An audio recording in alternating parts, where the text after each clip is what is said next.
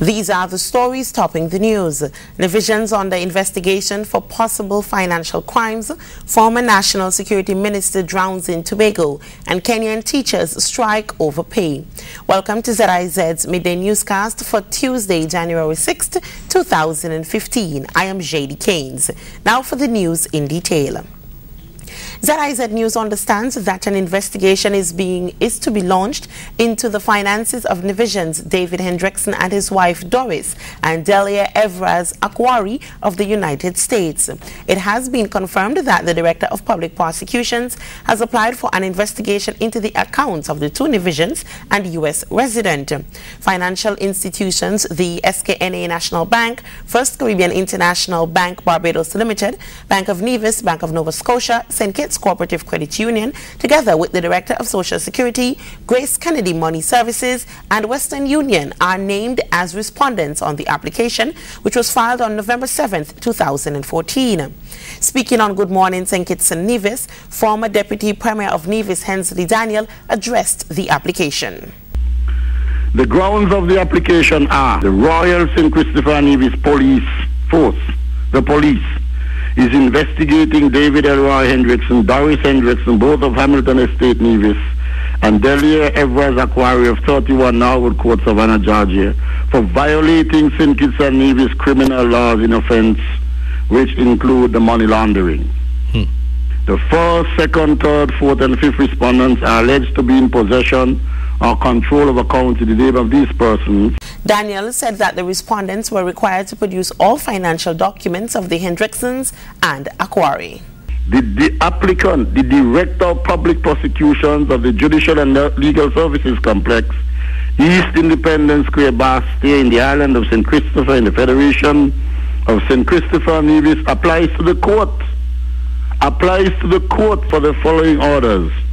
That the first, second, third, fourth, and fifth respondents that is the National Bank, First Caribbean, Bank of Nevis, Bank of Nova Scotia, and the. Kitts Credit Union, the first five respondents, do produce authenticated copies of the following documents or records in relation to the numbers, the numbers of set of accounts and all other accounts, and it says they are held in the name of David Elroy Hendrickson, Doris Hendrickson, both of Hamilton Estate Nevis, and Delia Evra Zakwari of number 31 Norwood Court, Savannah, Georgia, USA, whether individually or jointly, active, dormant, closed, and any other services provided for the period between October 1, 2010 to present. While very little is known of Aquari, David Hendrickson is well known on Nevis as the Chief Security Officer for the Nevis Air and Seaports Authority, NASPA, and his wife has served as a nurse for several years. ZIZ News will continue to follow this developing story.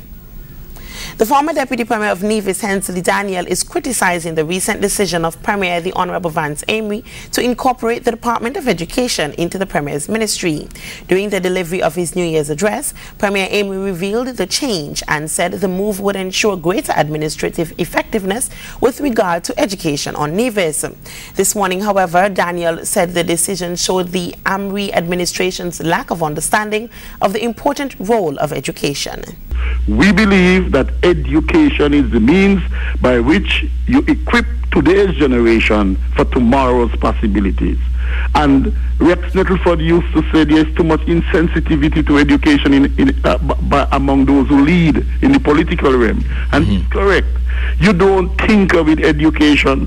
What you need to do is to get education to lead the charge.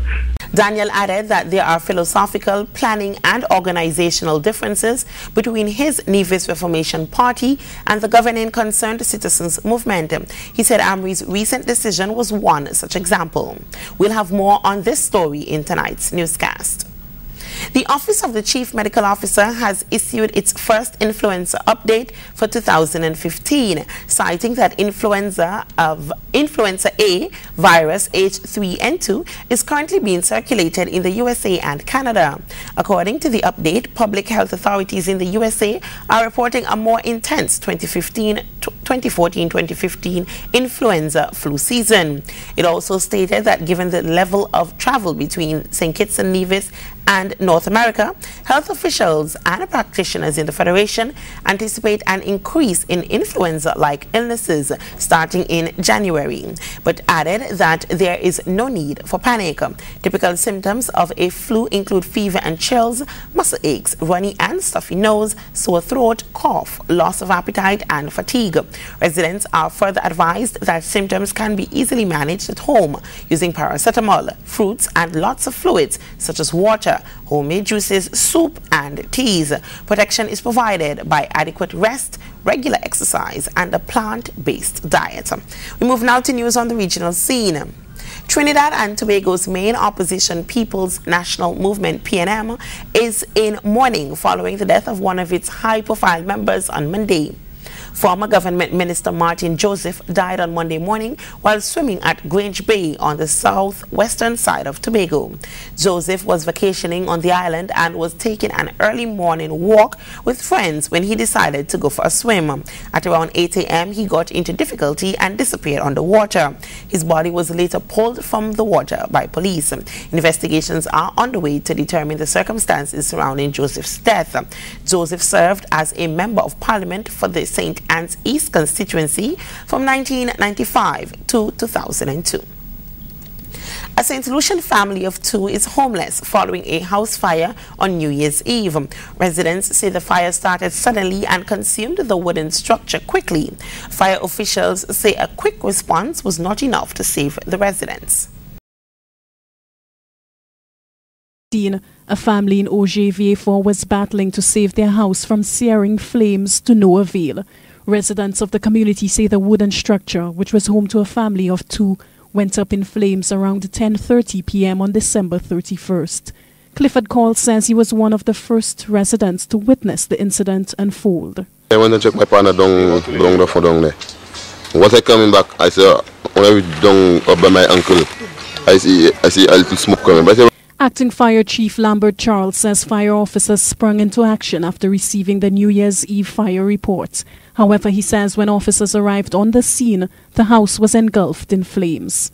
Where there was a house fire at Augier in Vieux-Fort. In that situation, a small wooden structure was completely destroyed. The damage in that fire is estimated at $17,000. The call came to the fire service at 13 minutes after 10 p.m. Residents of the area say they are determined to assist the family in any way possible. On New Year's Day, they could be seen helping to clear the area.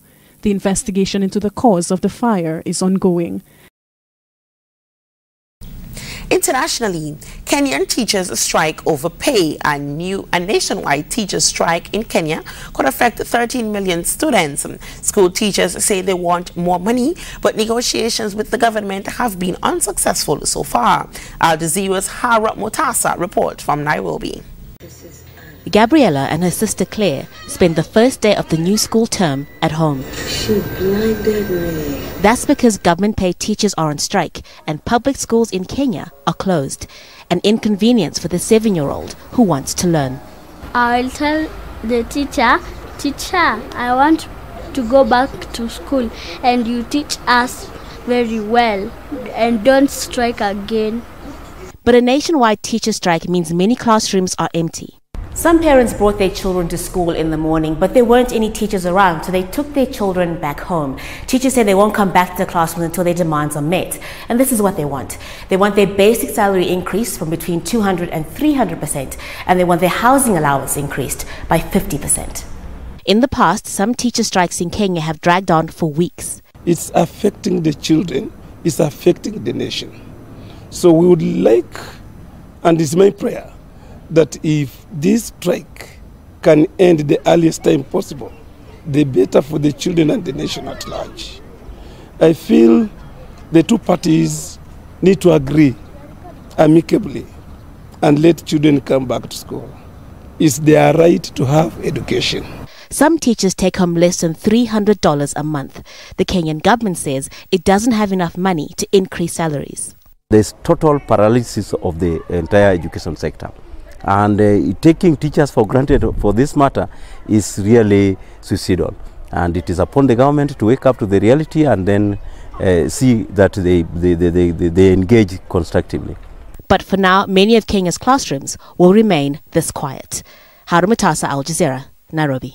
France says it is ready to carry out strikes against fighters crossing Libya's southern border and prevent the flow of weapons to groups fighting in North Africa's lawless Sahel region. We hear more in this report. One of the many unintended consequences of the war in Libya, the French involvement in the fall of Gaddafi, has been the strengthening of rebel forces in northern Africa, routinely described in the West as Islamist. And having defeated some of them in Mali in 2013, the concern in Paris is that the increasing disintegration of Libya into rival, heavily armed factions is leading to an open supply route for weapons out of Libya and through Niger, thus rearming the same groups in Mali all over again.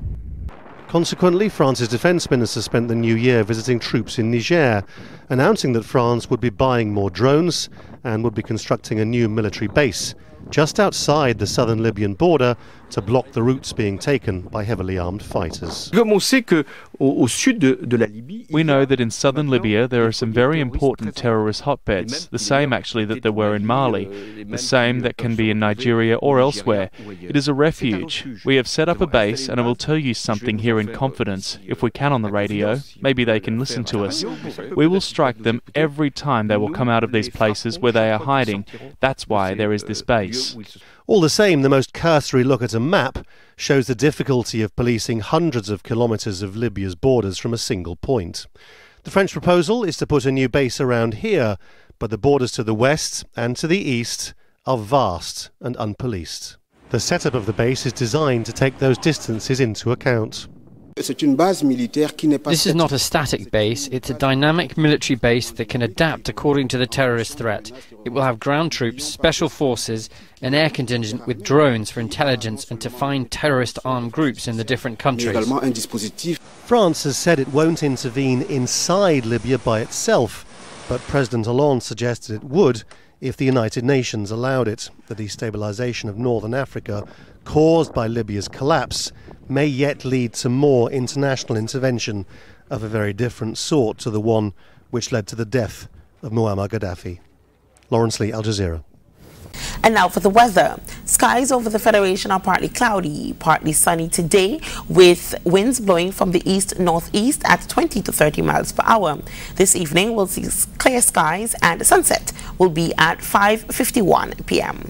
And that's it for ZIZ's Midday Newscast. Join us at 6.30 p.m. on radio and 7 p.m. on Channel 5 for the major news presentation. I have been your presenter, JD Keynes. Have a great afternoon.